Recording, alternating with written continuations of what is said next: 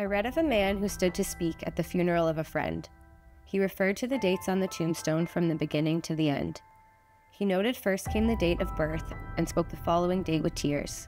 But he said what mattered most of all was the dash between the years. For that dash represents all the time that they spent life on earth, and now only those who love them know what that little line is worth. For it matters not how much we own the cars, the house, the cash. What matters is how we live and love and how we spend our dash. If we could just slow down enough to consider what's true and real, and always try to understand the way other people feel, be less quick to anger and show appreciation more, and love the people in our lives like we've never loved before. If we treat each other with respect and more often wear a smile, remembering that this special dash might only last a little while. So when your eulogy is being read with your life's actions to rehash, would you be proud of the things they say about how you spent your dash?